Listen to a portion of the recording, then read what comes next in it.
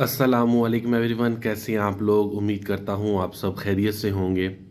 Dear viewers आज की video में मैं बात करने जा रहा हूँ नाइन क्लास की इंग्लिश के हवाले से। इससे पहले प्रीवियस वीडियोस में मैं बात कर चुका हूँ फिज़िक्स के फ़र्स्ट चैप्टर बायो के फ़र्स्ट चैप्टर और केमिस्ट्री के फ़र्स्ट चैप्टर के हवाले से।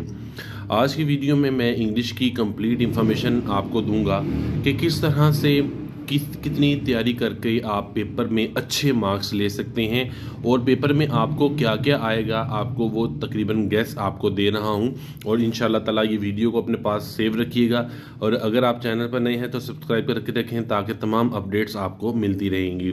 और इन जब आपका पेपर होगा तो आप खुद इस वीडियो पर आकर दोबारा कमेंट करेंगे कि जो आपने बताया था वो पेपर में आया है। दोस्तों के साथ इसे शेयर करें। आए स्टार्ट करते हैं सबसे पहले हम।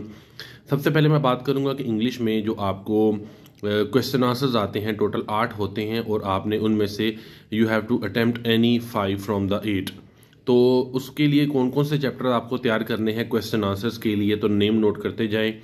The first one is the saviour of mankind the second one is patriotism the third one is media and its impact the fourth one is हज़रत असमा रज़ी अल्लाह तहो six next one fifth one is the Quaid vision and Pakistan and the next chapter is Sultan Ahmed मस्जिद और most whatever you can say तो ये जो chapters मैंने आपको बताए हैं, एक, दो, तीन, चार, पाँच छः ये छः चैप्टर्स मैंने आपको बताए हैं, तकरीबन इनमें से आपको सवाल जो हैं वो मिल जाएँगे छः के छः सवाल आपको इनमें से आएँगे और आपने इनमें से पाँच करने हैं।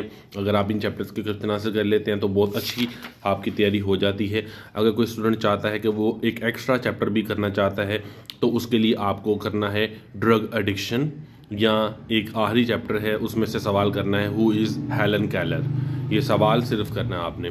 तो ये मैंने आपको बता दिया क्वेश्चन आंसर्स के हवाले से। Let's move forward towards translation you have in your paper तो सबसे पहले जो ट्रांसलेशन के चैप्टर आपने करने हैं, वो कौन कौन से होंगे? पहला है जी द सेवर ऑफ़ मैनकाइंड उसके बाद आपके पास दूसरा आएगा पैट्रियटिज्म तीसरा आपके पास जो होगा, वो होगा हज़रत असमर रज़ी अल्लाह तह वाला चैप्टर उसके बाद कायद आज़म, वीजन एंड पाकिस्तान वाला चैप्टर होगा आपके पास। और इसके पास जो लास्ट चैप्टर है, वो होगा सुल्तान अहमद मॉस्क, यानी मस्जिद वाला। ये चैप्टर अगर आप अच्छी तरह से तैयार कर लेते हैं तो आपको पेपर में जितने भी ट्रांसलेशन होगी, उसमें कोई दिक्कत महसूस इन ताला नहीं होगी। अगर आप ट्रांसलेशन के लिए एक इजाफी चैप्टर भी मुझसे पूछना चाह रहे हैं तो वो चैप्टर होगा ड्रग एडिक्शन का, ठीक है? ये बात हो गई आपकी इन चीज़ों के हवाले से। अब हम बात करते हैं पेपर में आपको ईडियम्स या वर्ड सेंटेंसेस आते हैं। टोटल सात होते हैं, उनमें से आपने पाँच अटैम्प्ट करने होते हैं। तो मैं आपको बताता चलूँ कि पहले सात चैप्टर्स के अंदर अंदर आपको देखेंगे कुछ चैप्टर्स के पीछे बने होंगे और कुछ चैप्टर के पीछे नहीं होंगे। जो आपके पेयर्स हैं, यानी ईडियम्स जो होंगे, वो आपके, आपने वो करने हैं। अगर तो आपको उनका इलम है तो ओके अगर नहीं इलम तो आप मुझे बता दीजिएगा कमेंट बॉक्स में। मैं नेक्स्ट वीडियो में या किसी भी शॉर्ट में उनको अपलोड करके आपको बता दूँगा इन ताला। तो वो भी तकरीबन लगभग जो मैंने अपने स्टूडेंट्स को करवाए हैं, वो 20 से 25 हैं, उनमें से 6-7 आराम से आ जाते हैं और आपने उनमें से पाँच अटैम्प्ट करने होते हैं। ये भी नंबर आपके 100 परसेंट कन्फर्म हो गए। तो इंग्लिश की बुक्स में से ये आपका क्लियर हो गया। अब हम बात करते हैं ग्रामर के हवाले से। ग्रामर में सबसे पहले आपको लेटर जो है वो देखने को मिलता है। तो लेटर कौन कौन से करने हैं, मैं आपको बुक बता देता हूँ। मेरे पास इंग्लिश कंपोजिशन बुक पड़ी हुई है। कंपोजिशन जो है, जो मैं आपको दिखा देता हूँ, जिसका टाइटल ये है। इसमें आपने लेटर नंबर वन करना है लेटर नंबर टू करना है letter number three letter number four very very important है letter number five very important letter number six very very important letter number eight seven sorry seven is also important letter number eight ये ज़रूरत नहीं करने की uh, उसके बाद letter number nine very important and letter number ten normal है, ये paper में बहुत कम आता है। Letter number eleven very very important letter number twelve most important and the letter number thirteen ये पढ़ लीजिएगा। And letter number fourteen normal है पेपर में आता है।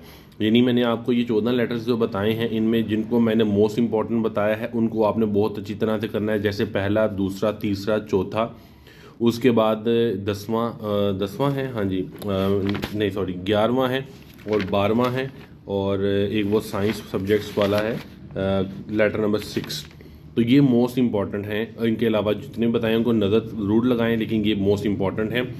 अब हम बात करते हैं कंप्रीहेंशंस की। कंप्रीहेंशंस डियर स्टूडेंट्स चार, पाँच छः सात, अगर आप पढ़ लें तो आपको अंदाज़ा हो जाएगा कि किस तरह कंप्रीहेंशन पैराग्राफ में से ही उसके जवाब मिल जाते हैं और आप उनकी निशानदही करके उन्हीं को ऊपर से कॉपी पेस्ट कर देंगे तो आपको वो भी दस बटा दस आराम से मिल जाएँगे। और मैं तो स्टूडेंट्स को ये कहता हूँ कि ये तो फ्री के नंबर हैं और ये कहना गलत नहीं है कि ये वाकई ही फ्री के नंबर हैं। अब हम बात करते हैं आपको दो चीज़ों की जो आएँगी, आपको एक्टिव पैसिव आएँगे पेपर में और साथ में आएँगी आपको ट्रांसलेशन ट्रांसलेशन जो होगी ट्रांसलेशन जो है आपकी, उसमें आपको मल्टीपल जो है वो आती हैं लाइंस आती हैं, और आपने उनको अटैम्प्ट करना होता है, पाँच जो है वो आपने अटैम्प्ट करनी होती है, उनकी इंग्लिश आपने लिखनी होती है। इसके बारे में वैसे तो मैंने बहुत ज़्यादा गाइड तो नहीं करता, लेकिन पच्चीस तीस ऐसी होती हैं जो हम बच्चों को करवाते हैं और वो कवर कर लेते हैं अब आसानी।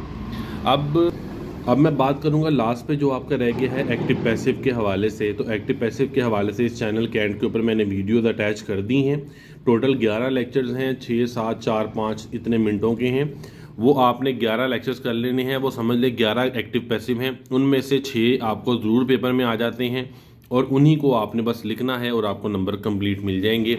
ऑब्जेक्टिव जो है वो आप अपनी बुक से करेंगे। बकाया जितना भी मवाद है, मैंने आपको ये सात मिनट की मुख्तसर वीडियो में बता दिया है, मज़ीद कोई सवाल हो, कोई बात पूछनी हो, आप मुझसे पूछ सकते हैं, या मज़ीद इसको सिलेबस को कम करना हो तो वो भी हो सकता है, लेकिन वो बहुत ज़्यादा रिस्की हो जाता है।